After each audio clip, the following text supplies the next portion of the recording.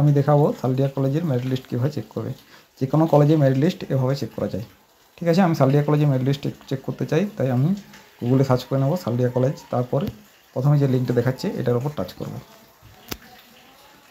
এটা টাচ করার পর নতুন এরকম একটা পেজ খুলে যাবে। তারপর নিচে দেখতে পাচ্ছেন ওপরে দেখতে পাচ্ছেন অনলাইন অ্যাডমিশন দু হাজার তেইশ চব্বিশ, এটার উপর টাচ করবে।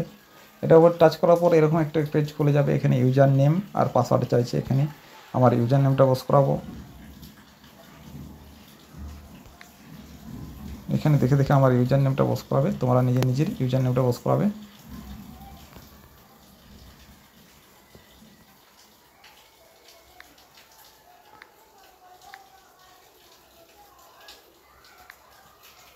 আমি আমার ইউজার নেমটা বস করে দিলাম। তারপর যে পাসওয়ার্ড লেখা আছে, দেখবে ফোনে যে পাসওয়ার্ডটা গেছে, সেটা দেখে দেখে টাইপ করে নেবেন।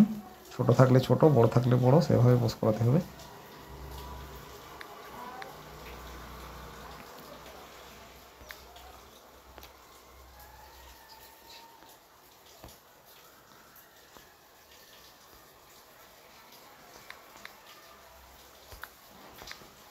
এখানে লগ ইন অপশানে ক্লিক করবেন।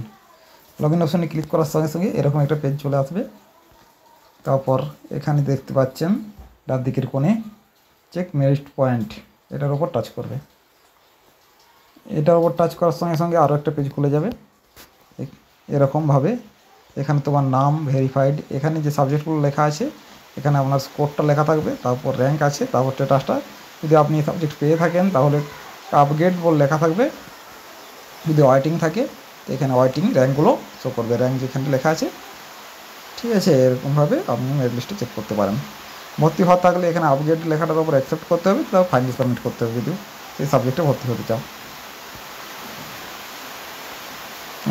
যদি না হতে চাও, তাহলে কিছু করার দরকার নেই। আরও পরে মেরিট লিস্টের জন্য অপেক্ষা করতে হবে।